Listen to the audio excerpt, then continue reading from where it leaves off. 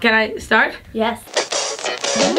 Hi, I'm Alma. Hey, this is Pop Bus Jar of Secrets. Okay, what was the first gig you ever went to? Hmm, not many big stars come to Finland, so I think it was Rihanna. There was some Finnish acts I went to, but they're not they're not that interesting. Tell us one thing that no one knows about you. I'm very open person, so everybody knows everything about me. Uh, I have like crazy tattoos that I don't want people to see because they are like kind of stupid. Describe French Montana in one world word. Hmm. Oh, okay, okay, okay, okay. Gangster. Montana! Who would be your dream music collab? Every like female artist in this industry. Maybe Sia would be like the top tie, like, and yeah, yeah. What, what, what's the weirdest thing anyone has ever asked you to sign? Bras.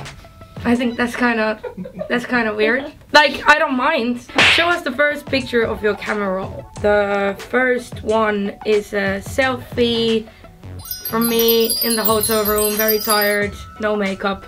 Who was the la last person to text you and what did it say? It's my mom and she just puts loads of hearts. I don't know. When was the last time you cried and why? I think it was a couple weeks ago. I drove with my bike to uh, very close to my home in Finland. It was a forest and I just went there and I cried about life.